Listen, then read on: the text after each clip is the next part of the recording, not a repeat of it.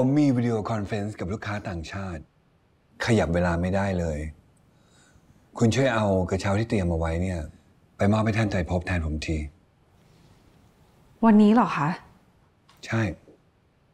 ท่านว่างวันนี้เท่านั้น คุณติดอะไรหรือเปล่า ได้ค่ะ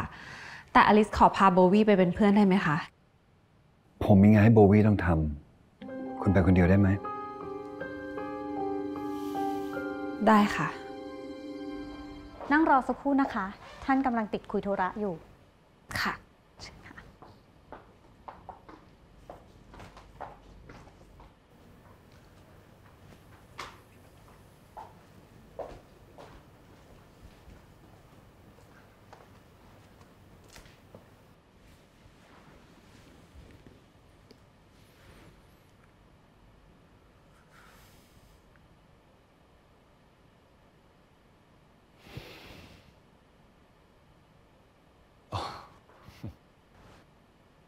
สวัสดีค่ะ สวัสดีครับ คุณอาริสา เชิญตามสบายเลยครับ เชิญเชิญค่ะเชิญขอบคุณค่ะเอ่อวันนี้คุณปิติติดธุระนะคะ ก็เลยไม่สามารถมามอบกระเช้าให้ได้ด้วยตัวเองโอ้ขอบคุณมากเลยครับ และผมต้องขอโทษคุณอาริสาด้วยนะครับ เสียดายว่าคราวที่แล้วเนี่ย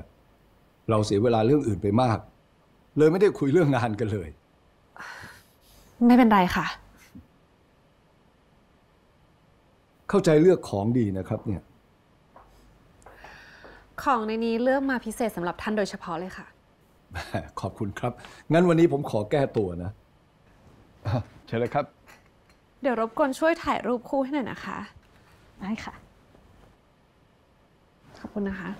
ขออนุญาตค่ะอะมา เจ้าหน้าที่ตำรวจครับ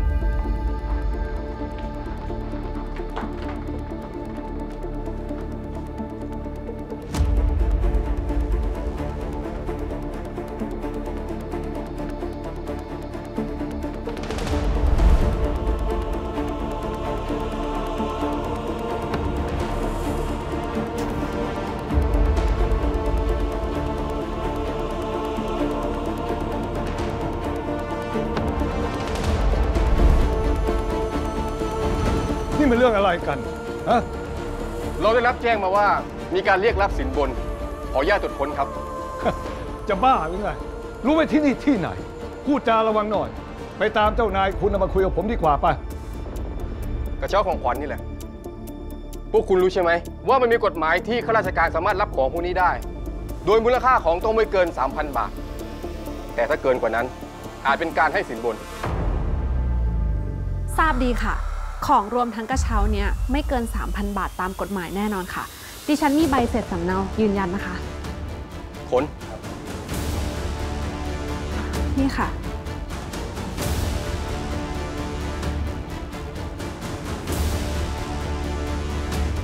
ร่วมกับครับ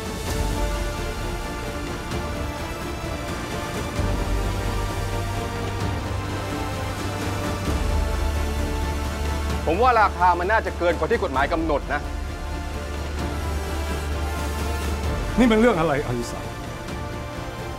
คุณทำบ้าอะไรอยู่ เชิญทุกคนไปที่โรงพักด้วยครับ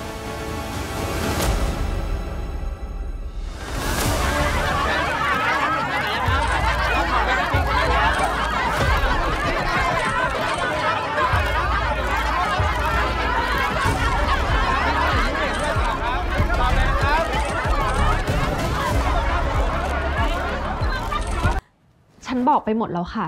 ว่าฉันไม่รู้เรื่องติดสินบนนั้นเลย คุณรู้จักท่านไตรภพนานหรือยัง เพิ่งได้เจอกันแค่สองครั้งค่ะ ท่านเป็นลูกค้าในบริษัท โดยทั่วไปเนี่ย คุณเอากระเช้าไปให้ลูกค้าเนี่ยเนื่องในโอกาสอะไร เนื่องในการปิดการขายได้หรือว่าโอกาสเทศกาลต่างๆ ค่ะ แต่ก็เป็นปกตินะคะ ที่ทางบริษัทจะมอบกระเช้าให้กับลูกค้า ที่มันไม่ปกติในเคสเนี้ยทำไมมันมีปากกาฝังเพชรซ่อนอยู่ในกระเช้า ของภายในกล่องชาถูกเปลี่ยนออกไป แล้วเอาปากกาใส่เข้าไปแทน แสดงว่าได้ถูกเตรียมการไว้เพื่องานนี้โดยเฉพาะ